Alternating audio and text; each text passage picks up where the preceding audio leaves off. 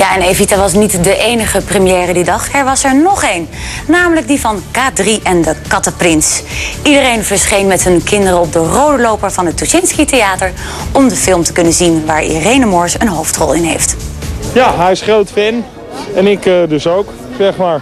K3 is natuurlijk eh, haar, eh, haar clubje.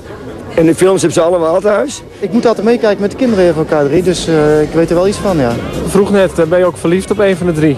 En? Nou, Kristal vind ik wel heel erg leuk. Ik ken het natuurlijk van mijn dochter en die vindt het hartstikke leuk. In de nieuwe K3-film speelt ook Irene Moors mee. En de meiden van K3 zijn zeer te spreken over Irene. Goh, ik vind ze heel lief en een hele mooie, spontane, professionele madame. Behalve dan het moment waarop Irene op de set haar medeacteur verwond. Nou, het is, ja, ik heb ook in deze film heb ik iemand eh, voor het leven beschadigd.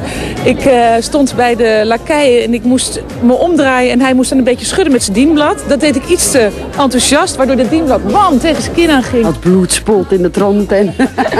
Het was een horrorfilm. Ja. Maar gelukkig valt de schade reuze mee en hebben de meiden enorm veel lol gehad tijdens het maken van de film. Er zijn wel momenten geweest dat ze de opnames even hebben moeten stilleggen omdat wij onze lach niet meer konden houden. Voor de volgende K3-film weten de meiden precies welke BN'ers ze graag willen hebben. Danny de Munk. Dat is een goed plan. Ja.